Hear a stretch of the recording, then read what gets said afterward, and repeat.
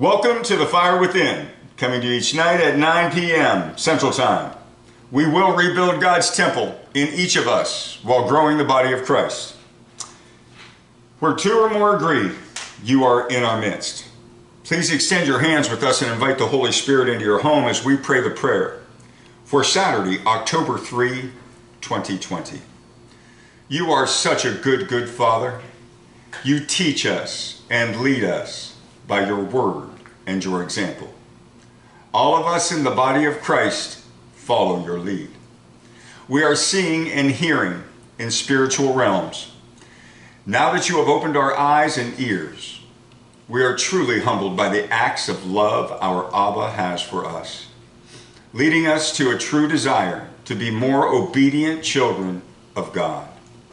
We are here to serve the Father, the Son, and the Holy Spirit. We are here to serve our church, our communities, and our families. We are here to answer the call and do the Father's perfect and pleasing will for our lives. Thank you, thank you, thank you. We belong to Jesus Christ, who paid for us and our sins with his blood.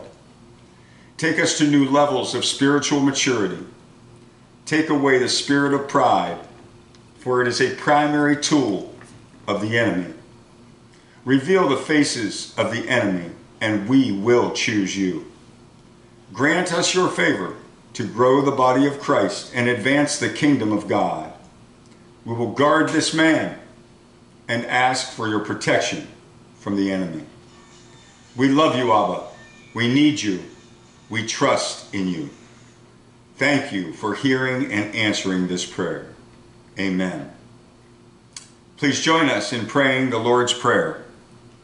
Our, Our Father, who art in heaven, hallowed be thy name. Thy kingdom come, thy will be done, on earth as it is in heaven. Give us this day our daily bread, and forgive us our trespasses, as we forgive those who trespass against us. Lead us not into temptation but deliver us from evil.